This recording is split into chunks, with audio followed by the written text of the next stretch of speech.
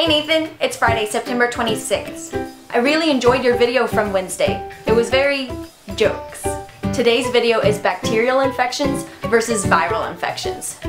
What's the difference? Bacterial infections and viral infections can often have similar symptoms which can make it difficult for doctors to determine a treatment.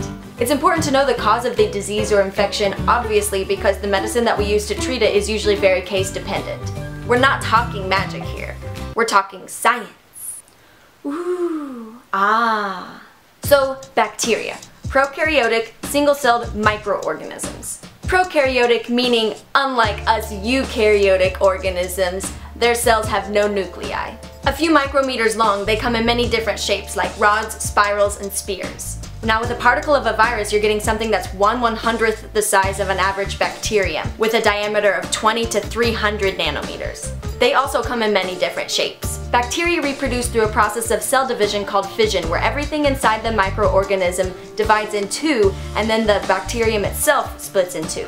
Viruses use a host cell for energy and material for their reproduction process, in which they make copies of themselves through self-assembly. Both bacteria and viruses are found in every ecosystem of the world. While bacteria is known to be some of the first life on Earth, the origin of viruses is a little bit more of a mystery. They're thought to have maybe evolved from plasmids and bacteria. Even their status as a life form is questionable. While they reproduce, have genetic information, and are subject to natural selection, they don't have cells which many say are a requirement for life. So what happens when bacteria or viruses come in contact with humans? Well, some bacteria is good for humans. In fact, there are 10 times as many bacterial cells in the human body as there are human cells. There are over a thousand species of bacteria in the human intestines alone, which aid in digestion, immunity, fighting against bad bacteria, making vitamins. Basically, without bacteria living in us, we would die. We have a very symbiotic relationship with these bacteria. However, some bacteria is bad for us. Pathogenic bacteria can infect the body and cause diseases. Viruses too, when in contact with the human body, can cause disease. Let's look at the different diseases caused by bacterial infections versus viral infections. Infections by bacteria can lead to cholera, syphilis, anthrax, leprosy, bubonic plague, typhoid fever, tuberculosis, tetanus, diphtheria, foodborne illness, and salmonella. And these can be characterized by skin, eye, stomach, upper respiratory and ear infections, meningitis, shock, pneumonia, STDs, and urinary tract infections.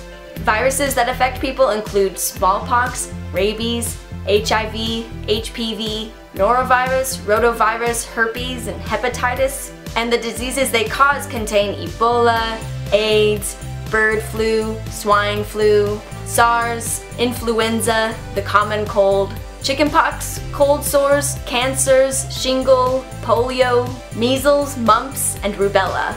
And of course, both bacterial and viral infections can cause death.